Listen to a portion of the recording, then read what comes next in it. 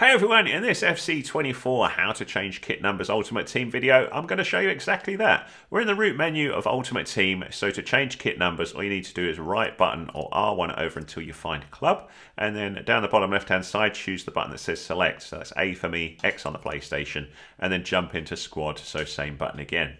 When you're inside the squad view, this is where you can change kit numbers. So on the left hand side, you need to pick squad actions. So for me, that's the left stick button. If it's a different button, it'll show to the left of squad actions for you, just underneath the badge there that we see. So I press that, and then we have these different options, one of which is kit numbers. So I'm moving to that with my left stick, pressing down. Then select it with A or whatever button shows down the bottom left, X on the PlayStation.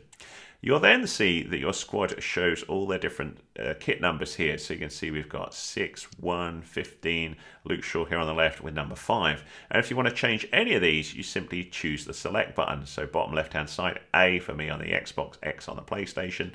And then you will get this little highlight with a little arrow on Luke Shaw that shows uh, that you can move left and right. So if you move left, check it out, the squad number changes. So it now changes to a red, and it's saying, look, this is also used by Wan Bissaka at the minute. He's my right back, so that's fine. I'm going to say, Wan Bissaka, I'm going to steal your number. So what it's also saying is it's say, okay, we'll swap these two around. So he will now be number five, which probably makes sense. So if we want that, down the bottom left, A to save.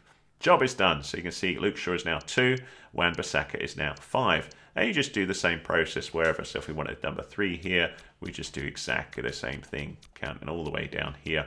Job is done.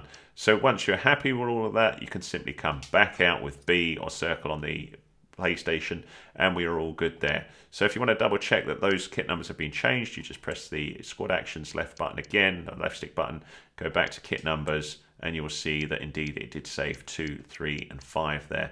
We are all good, so you just do that all through it. You can also move down to your subs and change those and check what those kit numbers are. So if we wanted Lamar, Lamela sorry, to have a different number here, we just select and do the same process. So we could do that there. Job done and you can see that I stole Fernando's kit number there so swap those two around. There you go my friends. That's how to change kit numbers in FC24 I hope that was useful to you. If it was give us a thumbs up please. That's much appreciated. Any comments welcome. If you need more help with FC24 do let me know with what in the comments. I'm doing loads of tutorials on the game so I'm happy to help you out if I can.